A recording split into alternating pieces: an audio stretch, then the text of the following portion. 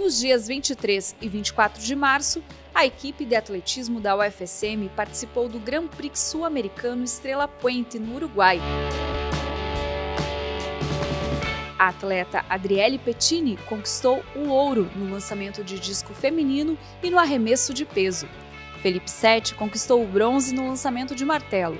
Amanda Simões Martins garantiu a medalha de bronze na categoria arremesso de peso e a equipe de revezamento 4 por 400 metros levou a medalha de bronze, com os atletas Nestor Júnior Rossi, Maurício Moreira, Leonardo Arruda e Rodrigo Espíndola. Foi a primeira competição internacional da equipe, que é coordenada pelo professor Luiz Fernando Cuoso Lemos e vinculada ao Núcleo de Implementação da Excelência Esportiva e Manutenção da Saúde da UFSM. Olá, que tal? Aqui com os medalhistas da UFSM do Grand Prix Sul-Americano. Queria agradecer todo o apoio da UFSM pela oportunidade que nos, nos deu a nós de conquistar as medalhas. Avante UFSM!